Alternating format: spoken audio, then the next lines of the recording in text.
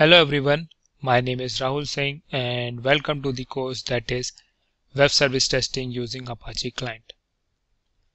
Well in this course I am going to discuss about the testing part of web services which are developed using the REST protocol.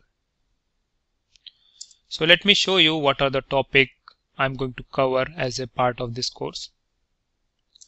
In the first section we will start with the basic of web services that is what is REST, why it is used and what are its advantages. After that I'm going to discuss about the testing part of web services using the client such as Postman and how you can validate the output of web services using the Postman client.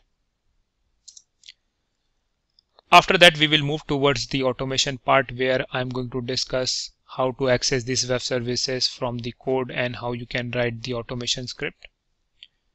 Later we are going to discuss about the validation part that is how you can add the validation using JUnit assert inside your automation script. After that we will discuss how to test the web service which have authentication in it. That means you need to supply the username password in order to access this web services and also about the web services which follow the HTTPS protocol.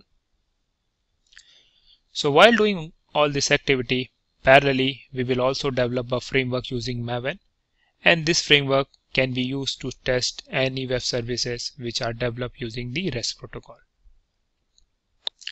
And in the end, we are going to optimize the code for our framework.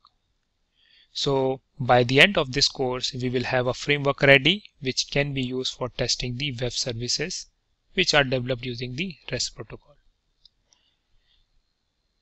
So in future I might add some more topic in this course, some more advanced topics in this course, but currently these are the main topic which I'm going to cover as a part of this course.